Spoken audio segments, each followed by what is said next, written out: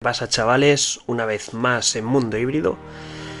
Hoy toca hablar de una historia fascinante, pero a la vez triste, y es que hoy toca viajar hasta el corazón de África.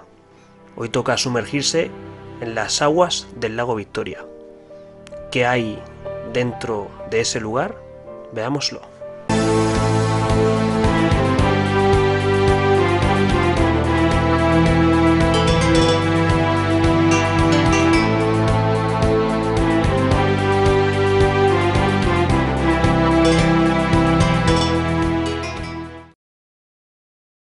Bueno, lo primero que quiero destacar, varias características de este lago, y es que se encuentra eh, rodeado por tres países africanos, que son Uganda, Tanzania y Kenia. He de decir que incluso estos países tienen disputas por el territorio y por estas aguas ricas en, la, en la pesca. También he de decir que es el segundo lago más grande de agua dulce del mundo y de este lago nace el río Nilo, el que es el segundo río más largo del mundo después del Amazonas. Y bueno, este lago es el claro ejemplo de la explotación que hay de los países occidentales y ricos hacia los países que son más pobres como los africanos, y os voy a decir el porqué más adelante. Y hoy me ha llevado a hablar de en este vídeo mm, de este lago porque en este lago habita una especie de cíclido africano de los que más me gusta y he llegado incluso a tener y a reproducir, que es el Aplocromis. Es una especie de cíclido que os enseño en pantalla. Tristemente sus poblaciones se están viendo, viendo bastante mermadas hace ya bastante tiempo y es a causa de principalmente la acción humana. Siempre lo he dicho, la mayoría de especies y la mayoría de, de animales que se encuentran en peligro de extinción es por el contacto directo con el ser humano. ¿Cuál ha sido uno de los principales problemas?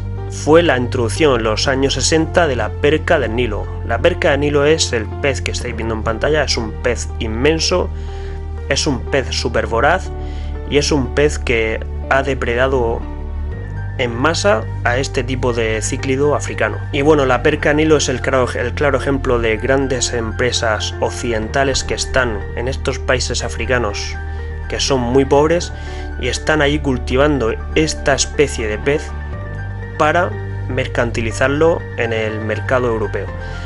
Y bueno, quiero hacer un apunte y es que en un montón de pescaderías venden la perca como si fuera mero y no tiene nada que ver. Como veis en pantalla, a la izquierda os pongo lo que es la perca del Nilo y a la derecha lo que es un mero, nada que ver. Para empezar, la perca es un pez de agua dulce y el mero es un pez de agua salada.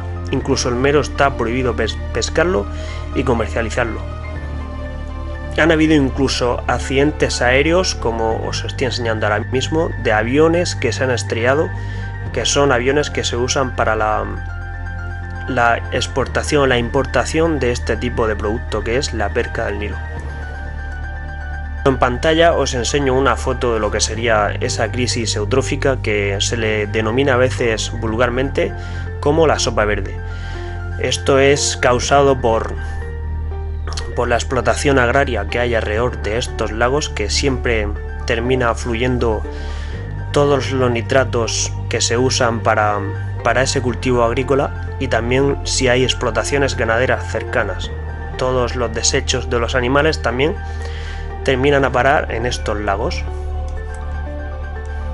Y bueno, esta sopa verde lo que hace es evitar que la luz solar penetre en el lago con la consecuencia de que no puedan hacer los organismos que hay en el fondo la fotosíntesis, que es la que genera el oxígeno en la laguna, con la consecuencia de que a falta de oxígeno la mayoría de peces pueden morir en la zona, ¿vale? Y otra principal causa que he leído y, y está hecho en estudios científicos es que el aprocromis, el cíclido del lago Victoria por excelencia, no ha sabido reconocer muy bien por culpa de la turbidez a las hembras y entonces han hibridado un montón entre especies, lo que ha llevado a la consecuencia de que la especie se haya ido degradando cada día mucho más. Se dice que se han extinguido ya unas 200 especies de Aplocromis en el lago Victoria. Y bueno gente, los últimos estudios eh, científicos eh, afirman que el Aplocromis está consiguiendo adaptarse a todos estos problemas y está incluso cambiando sus hábitos alimenticios. ¿Qué pensáis vosotros? ¿Os gusta este tipo de cíclido? Ahora os dejo quedaos porque os voy a dejar un vídeo de lo que sería un acuario de ciclios del lago Victoria totalmente estricto. Y sin más gente, espero que te haya gustado el vídeo, activa la campanita, dale a me gusta y nos vemos en el próximo vídeo. Adiós.